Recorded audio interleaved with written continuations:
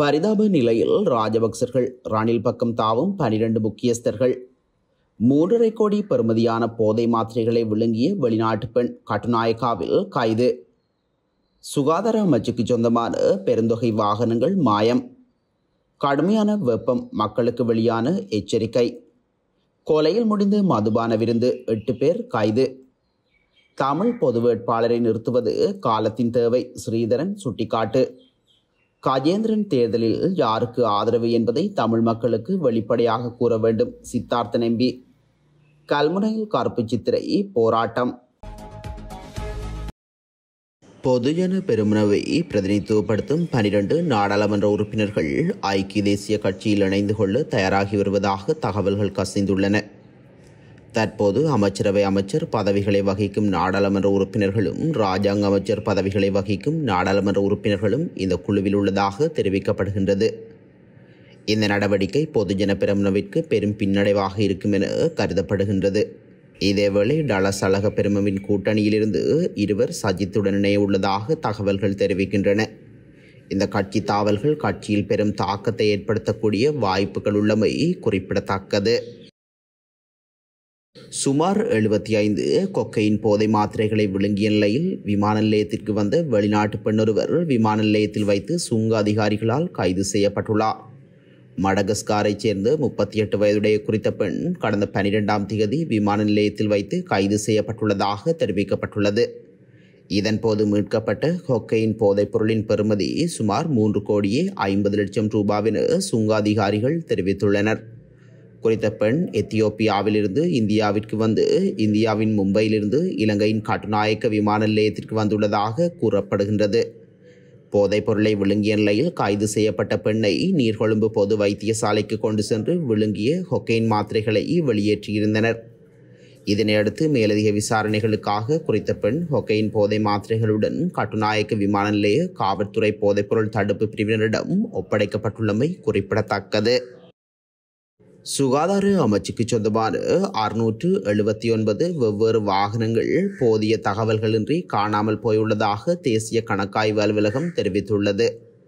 சுகாதார அமைச்சின் வாகன முகாமைத்துவம் தொடர்பில் இரண்டாயிரத்தி பத்தொன்பதாம் ஆண்டு தேசிய கணக்காய்வு அலுவலகத்தினால் மேற்கொள்ளப்பட்ட விசேட தணிக்கையிலேயே இந்த விடயம் கண்டுபிடிக்கப்பட்டுள்ளது. இதன்படி அறுநூற்றி எழுபத்தி ஒன்பது வாகனங்கள் போதிய தகவல்களின்றி இடம்பெயர்ந்தவை தெரிய வந்துள்ளது இதில் இருநூற்றி நாற்பது வாகனங்கள் அடையாளம் காணப்பட்டுள்ளதாக சுகாதார அமைச்சு கணக்காய்வுக்கு அறிவித்துள்ள போதிலும் அதனை உறுதிப்படுத்தும் வகையிலான போதிய தகவல்களை கணக்காய்வுக்கு சமர்ப்பிக்க தவறியுள்ளதாக கணக்காய்வு அலுவலகம் தெரிவித்துள்ளது. வெப்பமான வானிலை குறித்து வளிமண்டலவியல் திணைக்களம் எச்சரிக்கை விடுத்துள்ளது. இதன்படி மேல் மற்றும் வடமேல் மாகாணங்கள் மற்றும் மன்னார் மாவட்டத்தின் சில இடங்களுக்கு இது தொடர்பான அறிவித்தல் வெளியிடப்பட்டுள்ளது. இந்நிலையில் நேற்றைய தினம் வெப்ப குறியீடு மனித உடலால் உணரப்படும் வெப்பம் கவனத்திற்குரிய அளவில் இருந்ததாக குறித்த அறிவித்தலில் தெரிவிக்கப்பட்டுள்ளது. இன்றைய தினமும் அதேபோல் தொடரும் என தெரிவிக்கப்பட்டுள்ளது. எனவே இந்த விடயம் தொடர்பில் மக்கள் அவதானமாக செயற்பட வேண்டும் என வளிமண்டலவியல் திணைக்களம் அறிவுறுத்தியுள்ளது. இதேவேளை மேல் சப்ரகமுவ ஊவா தென் மாகாணங்களிலும் மற்றும் அம்பாறை மாவட்டத்திலும் இன்றைய தினம் மழை பெய்யக்கூடும் எனவும் வளிமண்டலவியல் திணைக்களம் எதிர்வு கூறியுள்ளது. பலாங்குட பெட்டிகள பிரதேசத்தில் கூறிய ஆயுதத்தினால் தாக்கப்பட்டதில் இளைஞர் ஒருவர் உயிரிழந்துள்ளார். மதுபான விருந்து ஒன்றின் போது இரண்டு பிரிவினருக்கு இடையில் ஏற்பட்ட வாய் தர்க்கம் தீவிரமடைந்த நிலையில் இந்த சம்பவம் இடம்பெற்றுள்ளதாக காவல்துறையினர் தெரிவித்துள்ளனர்.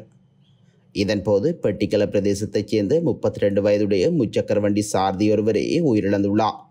அத்தோடு இந்த கொலை சம்பவம் தொடர்பில் எட்டு பேரை காவல்துறையினர் கைது செய்துள்ளனர். கொலை சம்பவம் தொடர்பான மேலதிக விசாரணைகளை பலாங்கொடை காவல்துறையினர் மேற்கொண்டு வருகின்றனர்.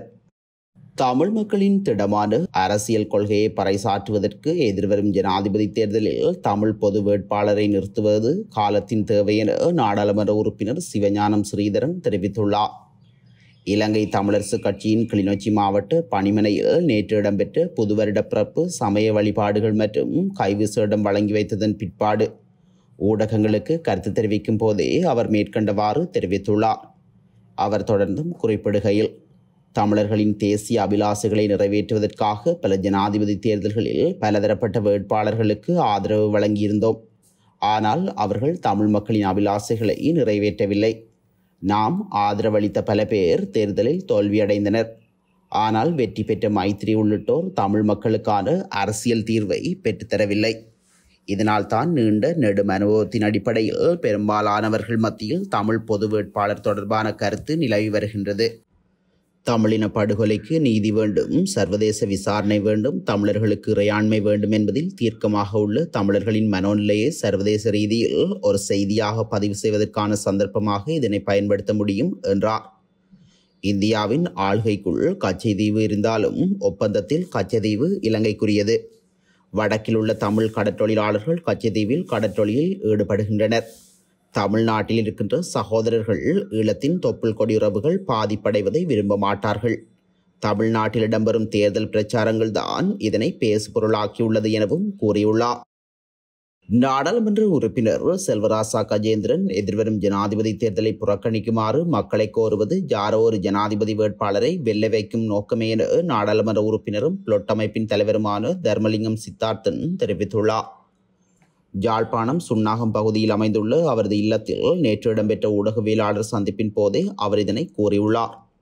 அவர் மேலும் தெரிவிக்கையில் தமிழ் மக்கள் ஒவ்வொரு தடவையும் ஜனாதிபதி வேட்பாளர் ஒருவருக்கு ஆதரவு வழங்கி வந்த நிலையில் துரதிர்ஷ்டவசமாக தமிழ் மக்களின் கோரிக்கைகள் நிலைநாட்டப்படவில்லை.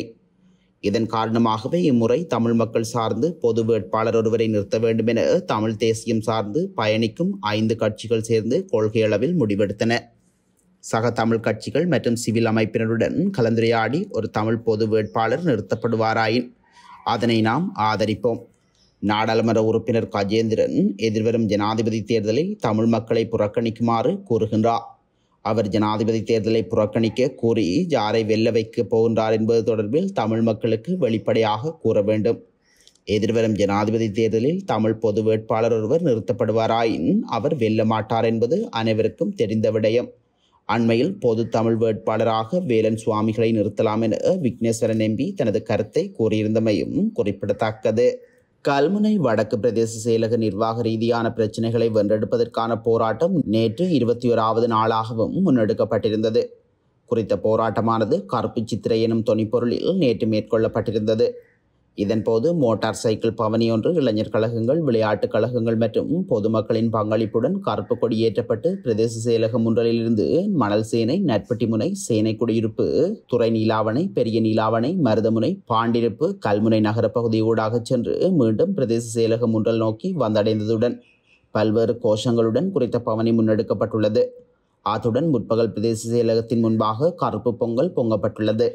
இந்நிலையில் அங்கு வருகை தந்து கல்முனை தலைமையக காவல்துறையினர் நீதிமன்ற கட்டளைப்படி பொதுமக்களின் போக்குவரத்து மற்றும் பொது சொத்துக்களை சேதமாக்குதல் போன்ற செயற்பாடுகளுக்காக போராட்டக்காரர்கள் என மூவரின் பெயரை குறிப்பிட்டு அப்பகுதியில் கடிதம் ஒன்றினை வழங்கியுள்ளனர்.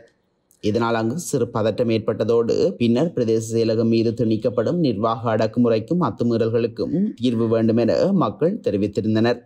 இதன் அடிப்படையில் நேற்று கருப்பு சித்திரையாக பிரகடனப்படுத்தப்பட்டதாகவும் பிரதேச செயலகத்திற்கான நிர்வாக உரிமையை வென்றெடுக்க அனைவரும் ஒத்துழைப்புகளை வழங்குமாறும் கோரிக்கை விடுக்கப்பட்டுள்ளது.